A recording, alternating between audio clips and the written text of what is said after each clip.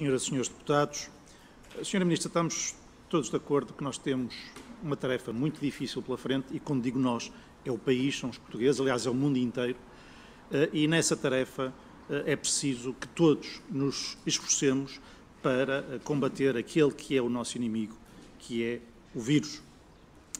E desde o início desta pandemia, que tem sido essa a atitude do PSD, uma atitude colaborativa, uma atitude de eh, apoio ao Governo de Portugal em todas as tarefas de combate à Covid-19. Essa atitude colaborativa começou, recordo, por exemplo, na última vez que a Sra. Ministra esteve nesta Comissão, em 11 de março, já nessa altura, eu próprio tive a oportunidade de manifestar esse apoio e a disponibilidade do PSD para viabilizar um orçamento retificativo que incorporasse eh, as alterações necessárias decorrentes da Covid-19. Desde então, vários dirigentes do PSD, a começar pelo Sr. Presidente, têm reafirmado essa posição, mas é uma posição que, hum, desde o início também é claro, que é uma posição de não passar cheques em branco e, portanto, nós estamos disponíveis para colaborar, desde que seja uma colaboração eh, que diga respeito à Covid-19 eh, e essa colaboração exige, naturalmente, eh, colaboração. Uma colaboração implica duas partes. Implica que haja uh, duas partes disponíveis para colaborar.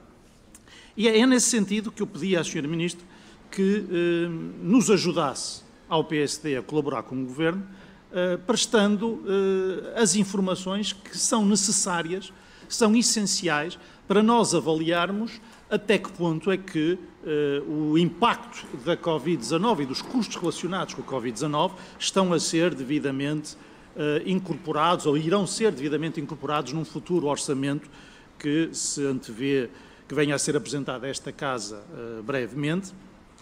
Um, e essa identificação dos custos da Covid é importante não só para uh, o fim da, da viabilização do PS, pelo PSD do, do, orçamento, mas também, por exemplo, por recursos a meios de financiamento da União Europeia que exigem essa identificação dos custos. E, portanto, uh, aquilo que, que eu pedi à Sra. Ministra era que nos desse toda a informação necessária, a começar pelas respostas às questões que o, o Sr. Deputado Ricardo Alista de Leite colocou e que a Sra. Ministra não teve tempo de responder. Um, para além dessas questões, eu tinha mais algumas questões para lhe colocar. A primeira questão tem a ver com os custos diretos da Covid-19.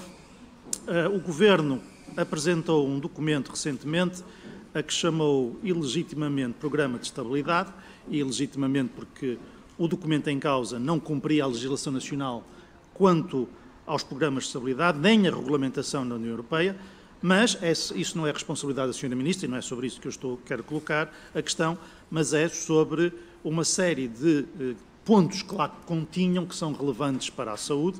O primeiro dos quais eh, é um ponto que a Sra. Ministra teve o cuidado de, de ser muito rigorosa na sua intervenção inicial, eh, coisa que no documento não houve esse cuidado, quando disse, e bem, que tinha havido um aumento da despesa total do programa de saúde, e disse para mais de 11 mil milhões de euros, mas não disse aquele erro que está no documento de que esse aumento tinha sido 941 milhões de euros, porque não foi, todos sabemos que foi de 302 milhões.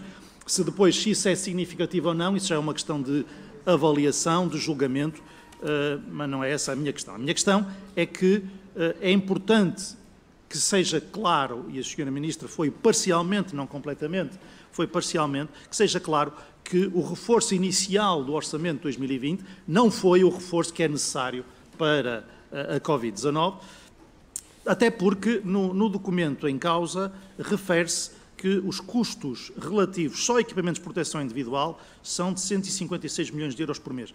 Eu sei que não são todos da área da saúde, mas a maior parte dos equipamentos serão da área da saúde e, portanto, se não são 156 milhões na área da saúde, serão pelo menos 100 milhões para a área da saúde, fora uh, as, os 94 milhões de testes, medicamentos e outras despesas da área da saúde que são recorrentes. E, portanto, estaremos a falar aqui entre 150 a 200 milhões de euros por mês de custos adicionais, custos esses que ainda não desapareceram, porque irão continuar enquanto a pandemia cá continuar. E, portanto, estamos a falar de cerca de 2 mil milhões de euros por ano de acréscimo de custos. Essa era a pergunta que eu lhe faria, se é isso ou não é uh, verdade esse número. Sr. Deputado, podia terminar. Só uma questão adicional, Sr. Presidente, se me permite, que é esta.